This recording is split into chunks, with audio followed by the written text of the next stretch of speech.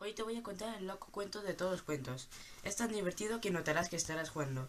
Érase una vez el hijo de un buzo, Tadeo, que era aprendiz de pirata, pero fue despedido porque estaba en huelga.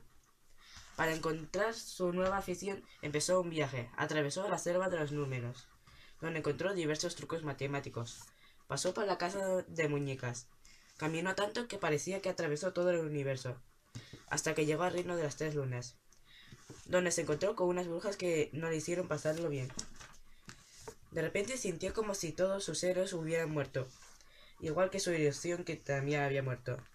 Entonces un gato ese gato oyó que alguien estaba triste y fue a hablar con Tadeo. Entonces le contó lo que le pasó y el gato le dijo de que él no era muy normal, sino que era muy especial.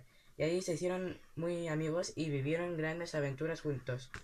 Aventuras dignas de ser leyenda y donde comprendió que su afición era vivir aventuras con un gran compañero.